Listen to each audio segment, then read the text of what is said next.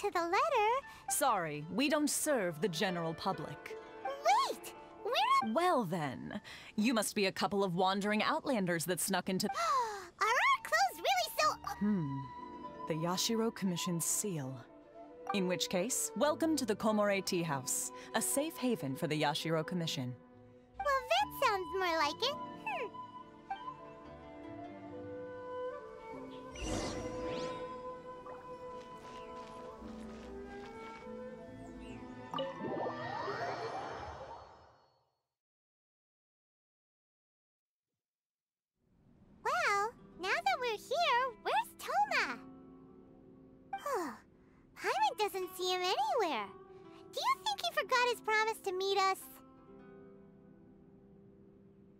Forgot their promise? I was beginning to think you'd forgotten about me. What? Is that the... Relax, no need to look so surprised. I take it this is the first time you've seen me in this form?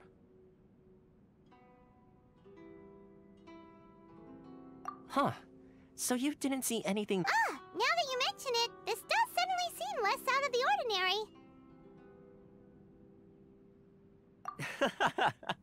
alright, alright, I've had my fun. Hey, you're this close to getting an ugly nickname, mister! well, I've had some time to kill, given that I've been waiting here for you for so long, as was the case in Ritou.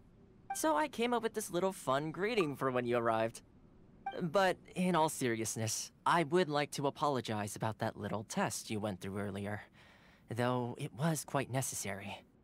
It helped us determine whether or not to bring you before Miss Kamisato, and whether you had the courage to face the lightning alongside us.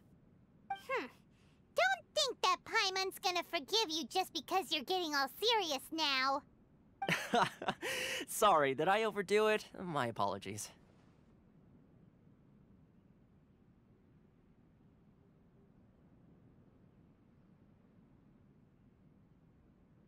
Let me just say this. You've often found yourself skirting the rules from the very beginning, haven't you? Naturally, this is due to your unwavering and resolute determination.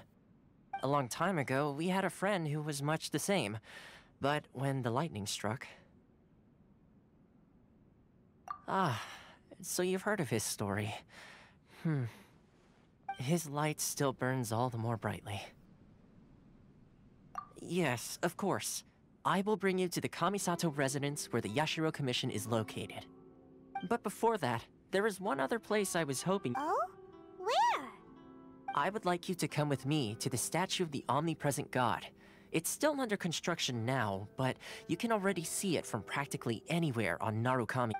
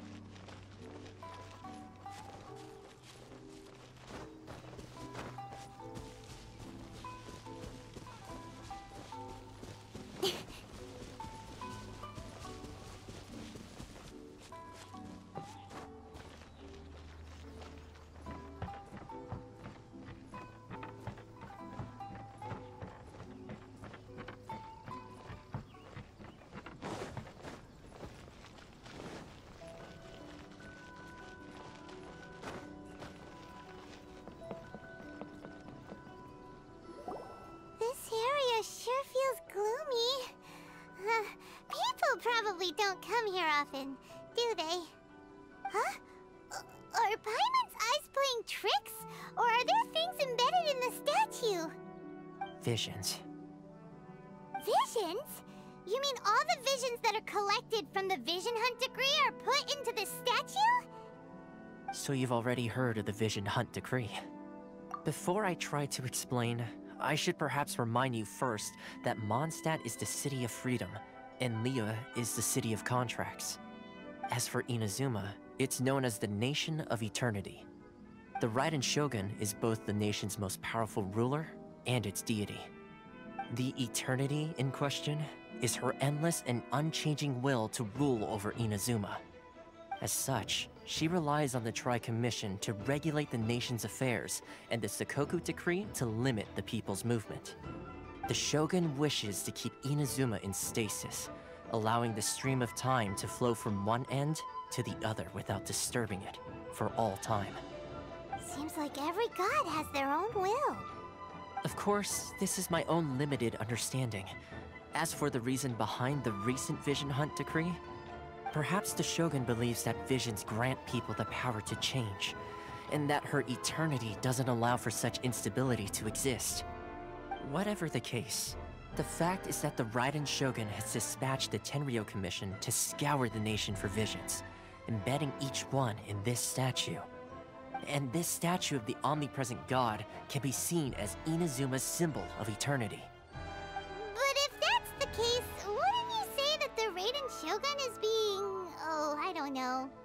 Selfish?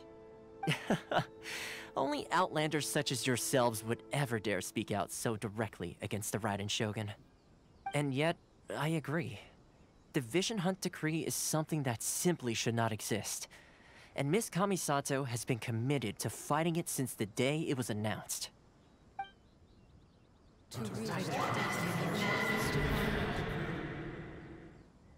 Huh? Hey, are you okay? You look like your mind is elsewhere. Sound? What sound? I didn't hear anything.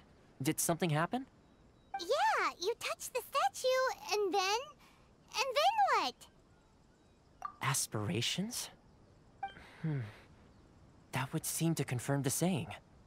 Have you heard it before? That when a person's ambition reaches a certain strength, the gods look upon them with favor. That is where visions come from. In other words, a person's vision represents their ambition. So if what you just said is true, then the ambitions of these people are stronger than I imagined.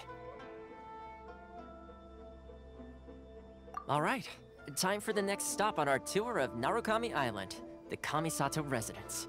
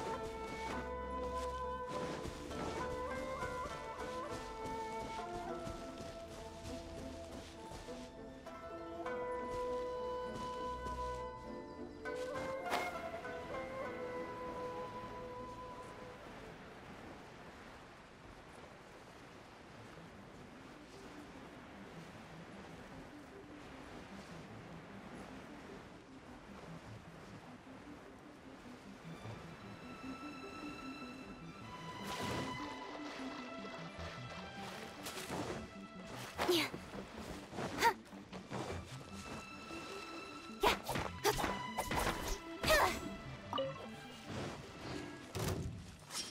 me try my blade.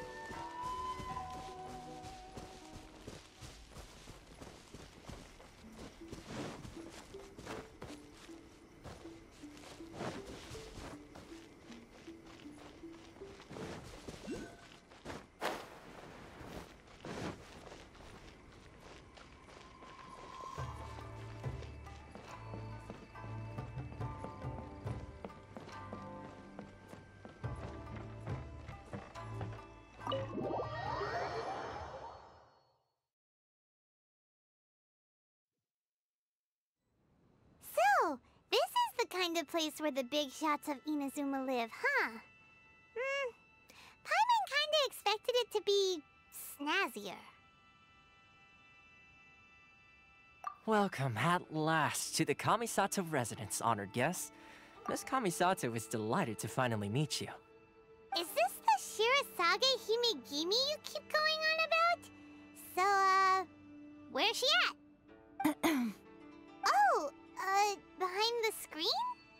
Yes. As the daughter of the Yashiro Commission, this is how Miss Kamisato is accustomed to receiving guests.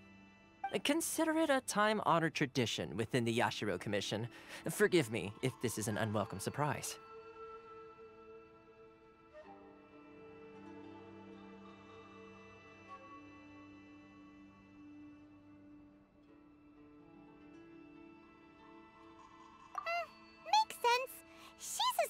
Important person after all. Please forgive my lack of courtesy for receiving you in this fashion.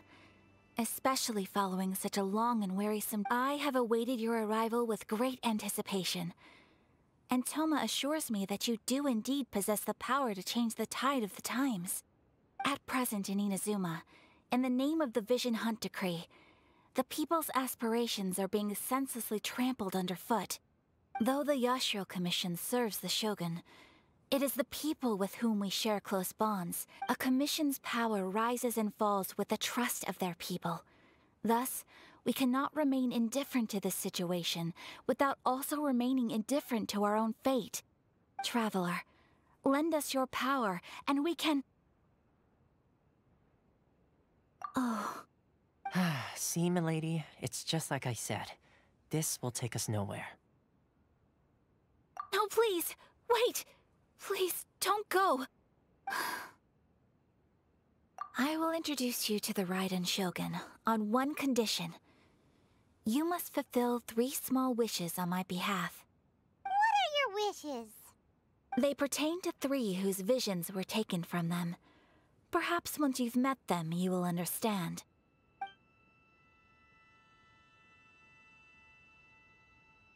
A warrior who guards a village, a former samurai who helped carry out the Vision Hunt decree, and a swordmaster determined to become the best in the world.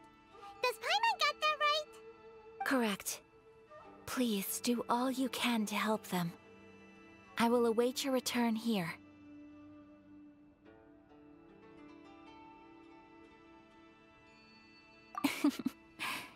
then you have my gratitude. I'm sure you'll do great.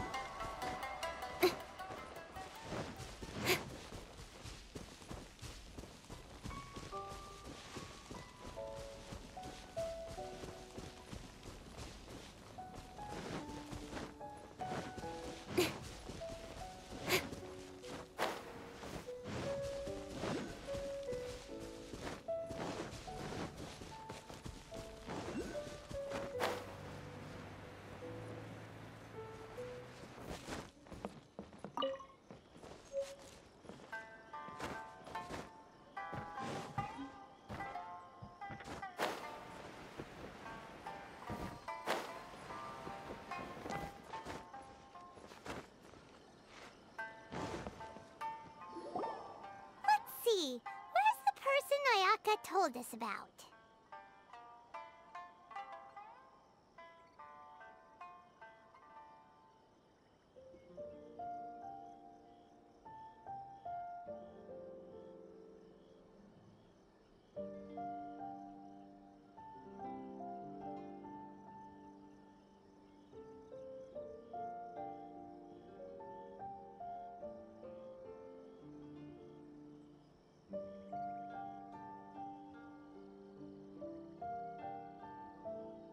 Why are you doing this?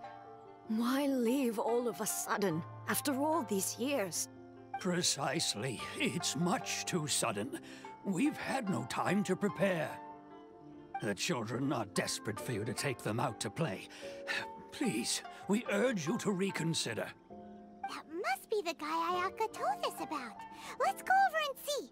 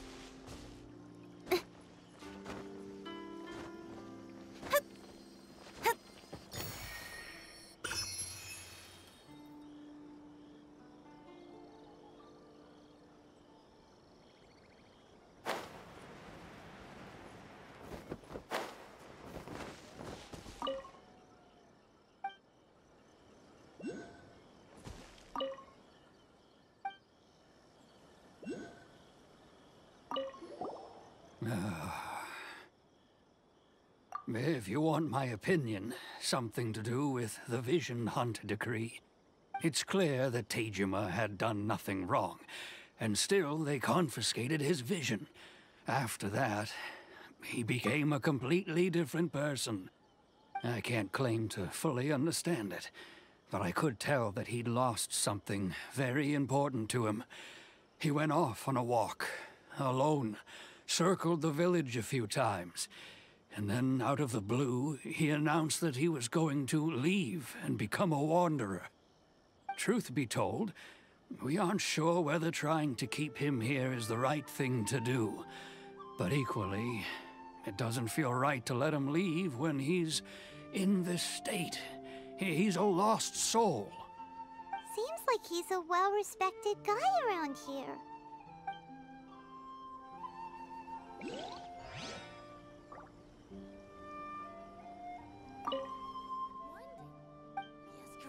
As. Ah, you must also be here to try and convince Tejima to stay. Tejima has protected this place ever since he arrived here 30 years ago. Keeping out the treasure hoarders, fending off any monsters that draw near, resolving quarrels between the villagers. He has put an enormous amount of work into looking after this place, and we all think the world of him. But now, all of a sudden, he says he plans to leave us. We can't help but wonder was it something we did? We will gladly apologize if that's the case. All we want is for him to stay.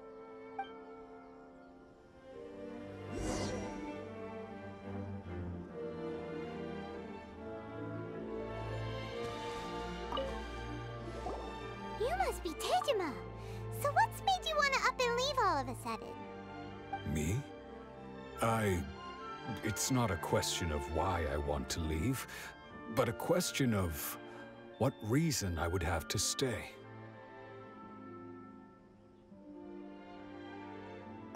True, but that's not why I chose to stay here. And what made me want to come here 30 years ago? And why have I never wanted to leave in all that time? I don't have answers to those questions because I can't remember anymore.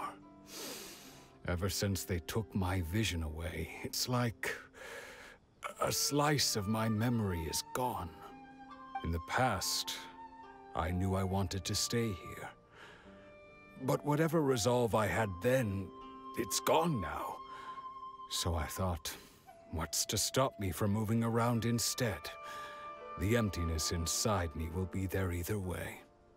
Okay. Well, in that case, if we help you rediscover the reason you chose to stay, you won't need to leave anymore, right? Hmm. But if you can't remember anything, it's not gonna be easy.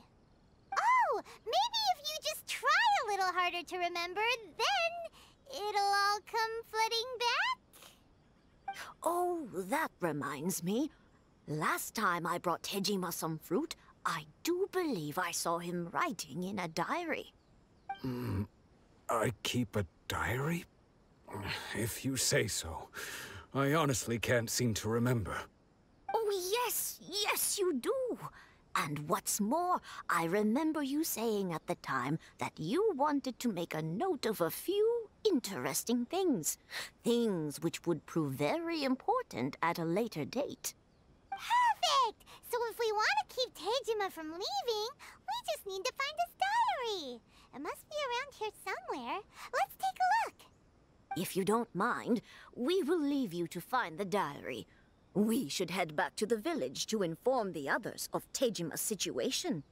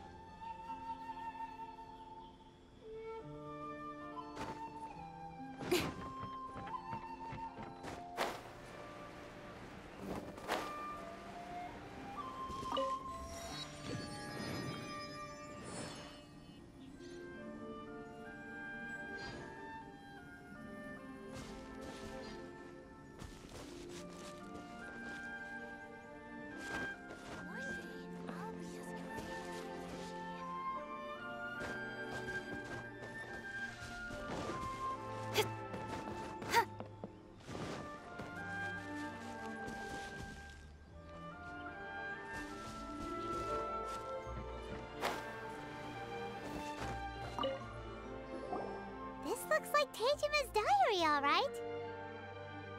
Let's see what we have here. Today, the villagers and I got together to cook dry braised salted fish.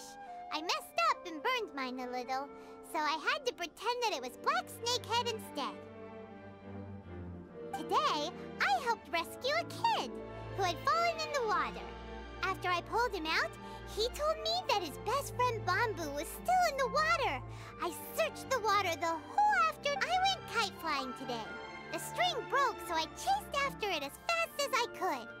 I soon realized I was never going to get it back, so I just found somewhere to sit and watch as it flew away into the distance.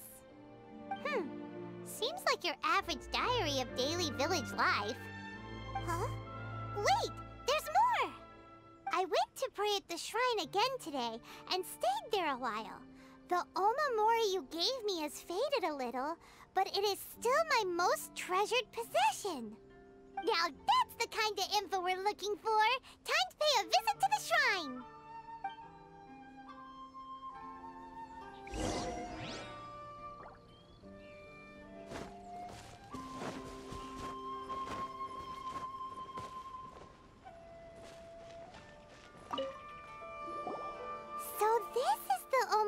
Tejima wrote about.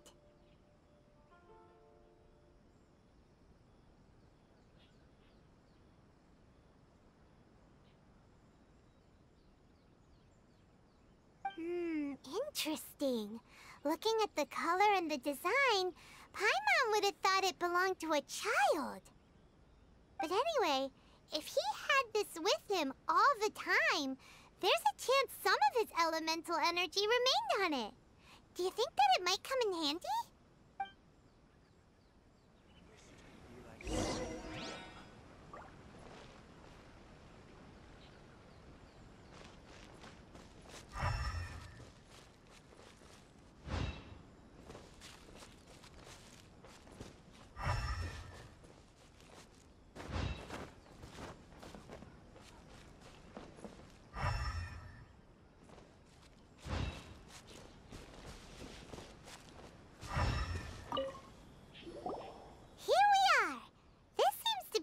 That Tejima visited a lot?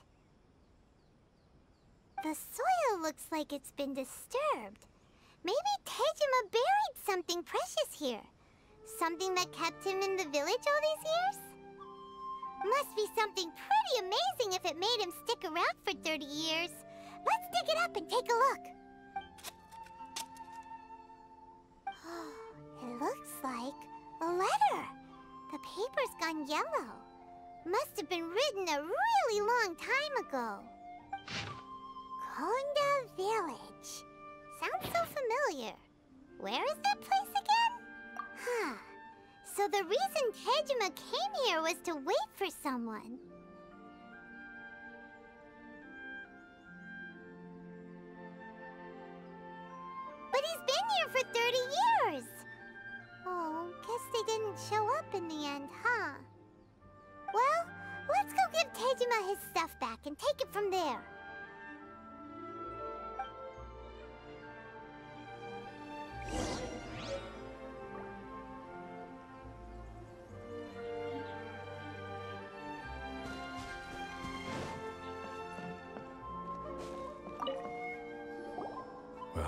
Be. That's certainly my handwriting. And I guess the Omamori and letter belonged to me too. But I have no memory of anything that's written in this diary. Still, it's clear that I was waiting for someone here, and that I chose to wait for 30 years. Over the years, I must have made a note of anything interesting. Anything that I could share with her when we were finally reunited. and just look at all the things that did happen over the years. The time has flown by so quickly. Thirty years feels like the blink of an eye. How could I have forgotten something so important to me? Hmm. Now that I think about it, when my vision was taken from me, it felt like I'd suddenly been hollowed out. Love, regret, everything I felt for her, it's all disappeared. No, not especially. After all, I've forgotten who she was. Her face, her voice, the things we experienced together. I barely recall any of it. It's as if she'd never been in my life to begin with. As if all these years have been nothing but a hazy dream. Mm, I think... maybe not. If this is something I waited most of my life for, I suppose I should carry on waiting. Although, what if she were to turn up eventually, only to find I didn't remember so much as her name?